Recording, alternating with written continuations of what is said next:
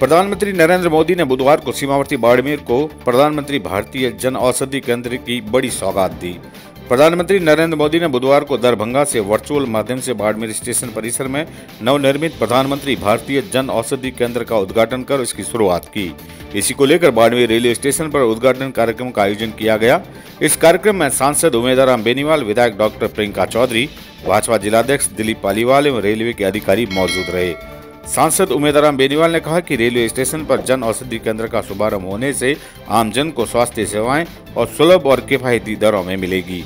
विधायक डॉक्टर प्रियंका चौधरी ने बताया कि रेलवे स्टेशन पर इस प्रकार की सुविधा से यात्रियों और स्थानीय जनता को स्वास्थ्य सेवाओं में राहत मिलेगी, खासकर उन लोगों को जिनके पास दवाइयाँ खरीदने के लिए सीमित संसाधन हैं।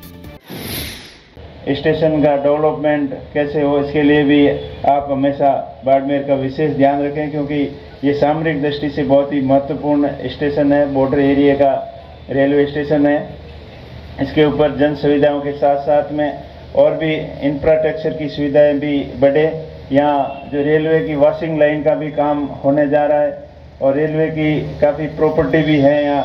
उसका भी सही उपयोग कोई अतिक्रमण नहीं करे, इसके लिए इसकी बैरिकेटिंग की व्यवस्था है, वगैरह है, सभी तरीके से ध्यान रखें और आज जन औषधि केंद्र का उद्घाटन था, जो हमारे प्रधानमंत्री का विजन है, कि सब तरफ़ चिकित्सा की सुविधाएँ हर गली गली गाँव तक पहुँचे।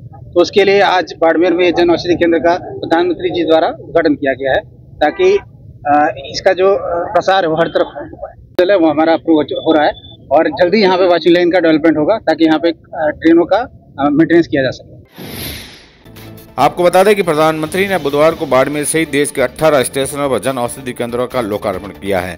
स्वस्थ भारत, विकसित भारत के तहत रेलवे स्टेशन पर यह केंद्र खोले गए हैं।